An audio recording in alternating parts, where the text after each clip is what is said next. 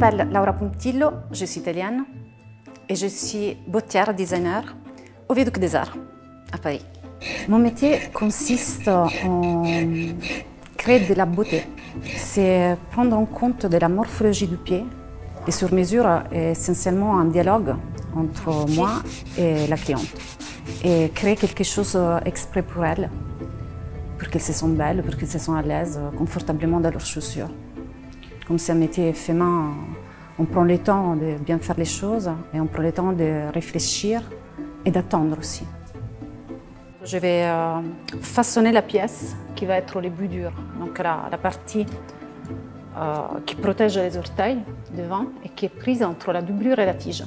Donc la première chose que j'ai fait, c'est de casser du verre.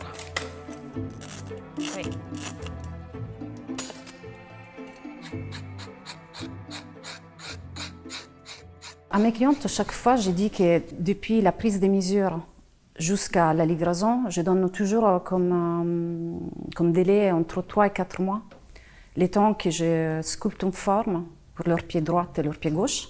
Et ensuite, euh, créer les patronages, donc les pièces en papier qui vont me servir d'exemple pour pouvoir couper, au fait, des gabarits pour pouvoir couper sur la peau.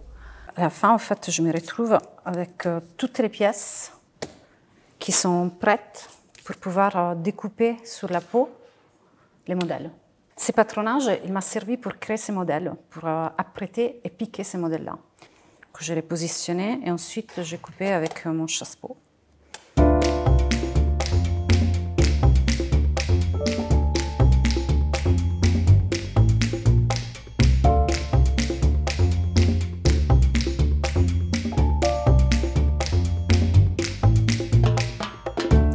Fois que tout cela est prêt, je passe à, à l'essayage. Donc j'ai fait un montage sur, euh, sur ma forme, euh, de façon que la cliente elle puisse euh, tester et, moi juger les chaussons.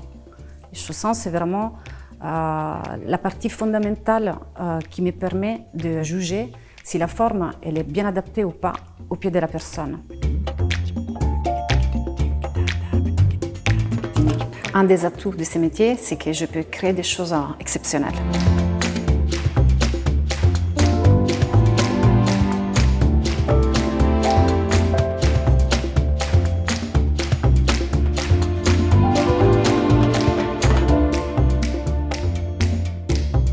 J'ai eu une rencontre extrêmement importante, c'est la rencontre avec Philippe Atienza.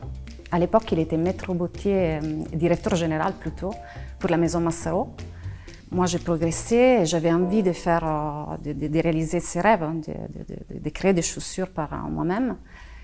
L'histoire a fait que lui, il quittait la maison Massaro et moi, je lui proposais d'ouvrir un atelier ensemble. et il a accepté.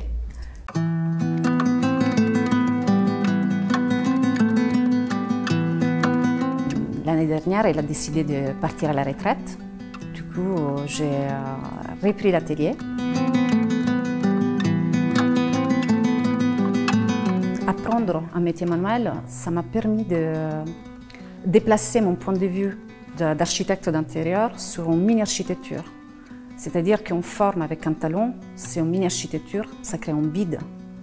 Et, et c'est le vide qu'on peut habiter. Et la chaussure, c'est un vide, en fait. C'est un métier qui, était toujours euh, fait par des hommes. Donc aujourd'hui, oui, je suis la première bottière qui, qui, qui a le courage aussi d'ouvrir son propre atelier.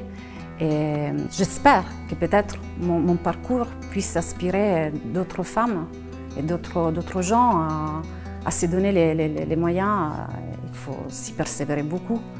Parce que l'apprentissage de, la botterie, c'est quelque chose de très long. Donc il faut en fait bien équilibrer entre ce qui passe dans la tête et, et les faire communiquer avec euh, nos propres mains.